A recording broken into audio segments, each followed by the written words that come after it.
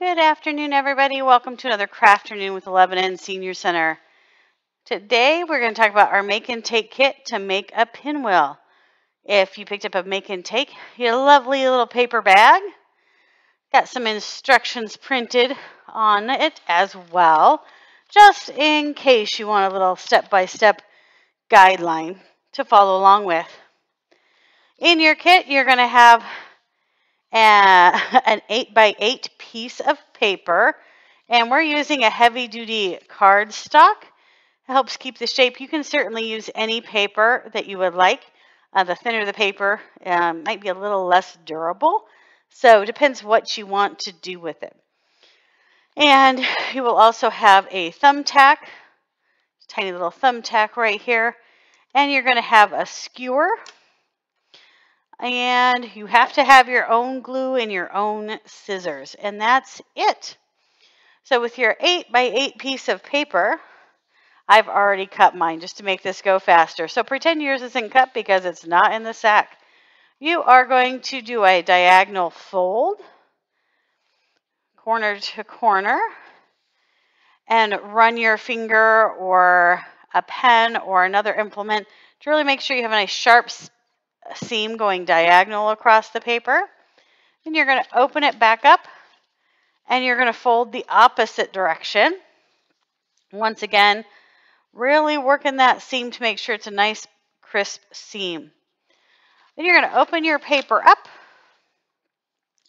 I like to mark mine with a pencil next, but you can just eyeball it.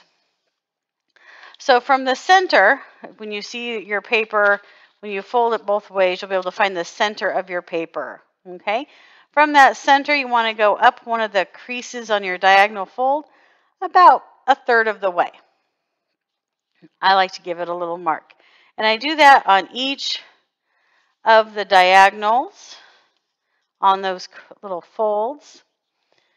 Okay, because then you're going to take your scissors and just like we've already done, you're going to cut down from a diagonal corner, going down the diagonal fold to that uh, third of the way mark that I did with my pencil. And again, you don't have to mark it. You can just eyeball it. Maybe about two chomps of your scissors. It depends how long your scissor blade is. And you're going to do that on all four corners of our paper. So then it looks kind of like this little wonky, partially cut piece of paper that wants to be triangles. Okay? After you get it cut, then you're just going to take down, take one of these new corners that you have, and you are going to gently fold it toward the middle, overlapping that the center just a little bit. I like to give mine a little squish I am not pushing it down to fold it sharp. You want a nice curve. And catching those nice curves will allow air eventually to get caught in there, which will help turn your pinwheel. And you can do that with each one. I like to kind of audition it and give them that little squash squash before I break out the glue. This way, it's like training the paper to relax in this position. Making sure it's going to be how I want it to be and I don't over, over squash any of the folds. All right, looks pretty good. So now I'm going to uncap my glue. I'm going to, this is a really big glue stick. You don't have to have a jumbo glue stick. I just do. All right, once again, we're going to do that same process again.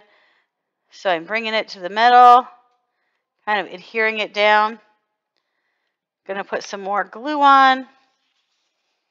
Just kind of rinse and repeat, working my way around, making sure it gets stuck really well.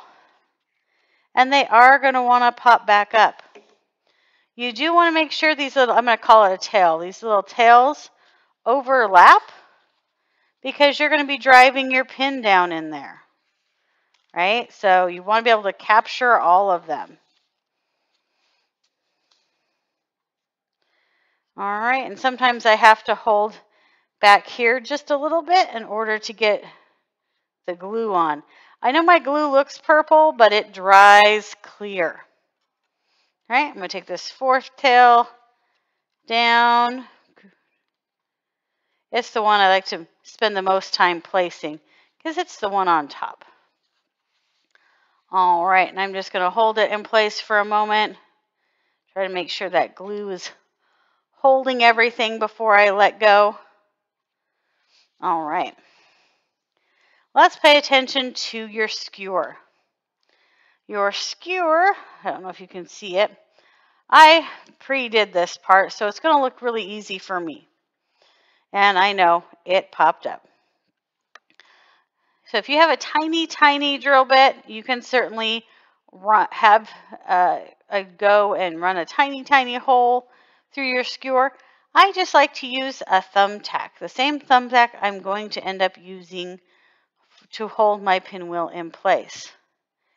And I line it up and I'll just spend a little time. This is where you got to be really patient and really careful so you don't squish your thumb. If you try to push really hard on the get-go, often or not, it just slides off and uh, you know you can crack the wood because skewers aren't very big. You do want a sharp thumbtack. You could even use a nail if you wish. But I just sit there and I just gently kind of twist and push and twist and push. It's like whittling my way into the skewer. Um, this can be a great project for, you know, grandkids to help with too. Haha. So gently get it in there and you don't have to get, you know, all of it all the way through. I, I like to let it peek out the backside just a little bit. Because then we're going to take it back out the reason I pre-do it is so I can see where that hole is because as soon as we try to pin the paper on, you lose all that visibility. I'm going to come back over here to my pinwheel that's trying to run amok. Definitely one of those projects where it helps to be able to sit and hold it for a minute.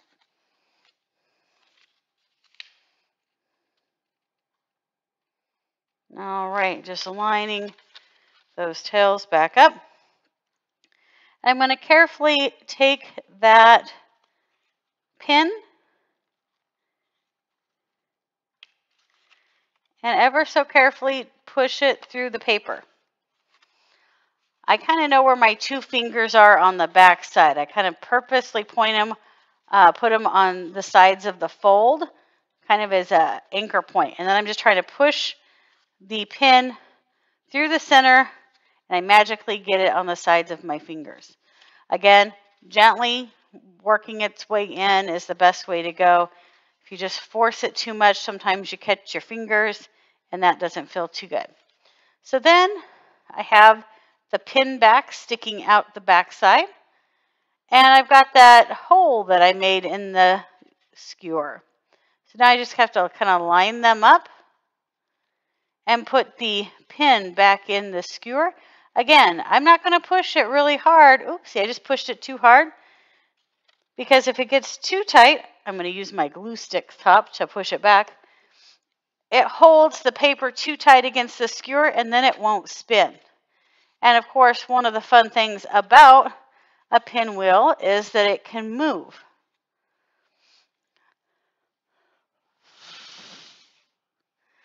There, Hard to, I can't. There you go. See how much lung power I have. This is good lung exercise, blowing a pinwheel. So there you go. So that is our pinwheel all set to go, all pretty as can be. And it can spin. So there you go. That's what you'll find in our make and take this week.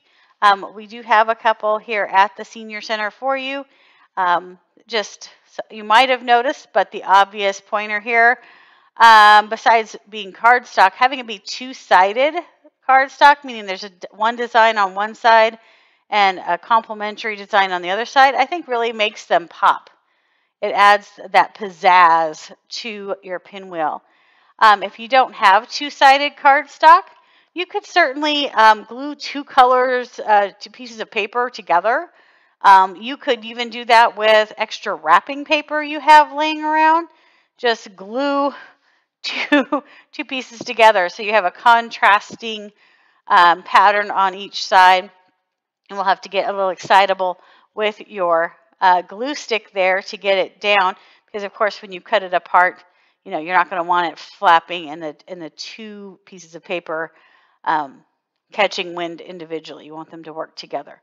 Um, if you're doing something for just for decorative purposes, then certainly that is a great option because you might not necessarily be worrying about how well they actually spin, but just more as a decorative item to add to a planter, to add to porch decorations or a wreath, or even just a little birthday present bag, just for that fun whimsy of childhood.